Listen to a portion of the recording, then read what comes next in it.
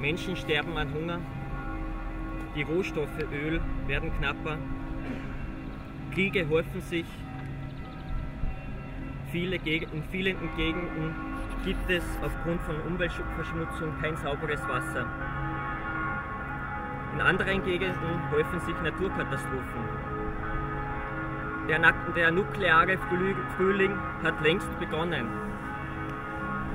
In autoritären regierten Ländern gibt es mutige Menschen, die auf die Straße gehen und riskieren, niedergeschossen zu werden, weil sie gegen die Unterdrückung kämpfen. Wir leben in einem freien Land und haben die Möglichkeit, für die evolutionäre Weiterentwicklung von Demokratien, von Umweltschutz, von einer neuen Energiewende Zeichen zu setzen.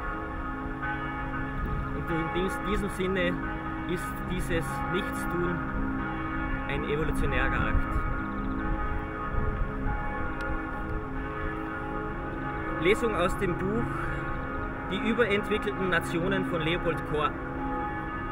Die wirklich revolutionäre Alternative zu Kapitalismus, Imperialismus, Kommunismus, Nationalismus, zu Schwarz, Rot, Blau oder Braun ist nicht grün, sondern klein. Heiligste Evolution, die wir alle die Evolution sind, hilf uns, dass wir evolutionäre Schritte, kleine Schritte tun und uns gegenseitig dazu bemächtigen.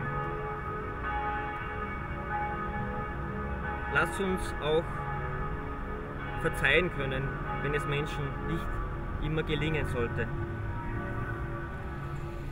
Ein Vorschlag, weil wir heute so zahlreich versammelt sind und wir so eine Kraft spüren, denke ich mir, äh, wir könnten, so wie es die Critical Mass macht, jeden letzten Samstag im Monat hier zusammenkommen und einfach still sitzen.